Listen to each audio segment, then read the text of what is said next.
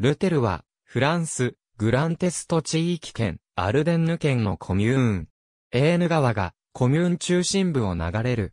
ガイウス・ユリウス・カエサルがこの地に駐屯したことが、コミューンの基礎となった。メス司教アルヌルフの伝記中に、アルヌルフの家族が、ランス司教レミギウスにビーシャライステッドにて所有する財産すべてを寄進した話が記されている。ビーシャライステッドとは、ルテルの古名である。小さな町は、その後ランスのサンレミ修道院に属し、行政は代理人が行った。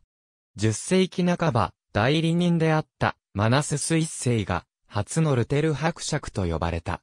1405年に正式に伯爵領となり、1581年に公爵領に昇格した。1663年には、マザラン公爵の所有する称号となった。フランス・スペイン戦争ではスペインに占領され、1653年にフランス軍が奪還した。1814年、スペイン人捕虜感染源としてチフスが流行した。1832年と1849年にはコレラが流行した。ルテルは食肉加工品である白ブーダンで有名である。2001年から地理的表示の扱いを受けている。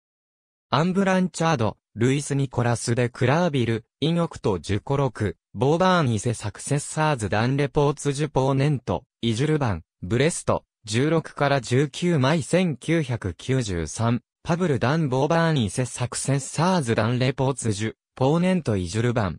パリ、アソシエーション・ボーバーン、2000、P122。ありがとうございます。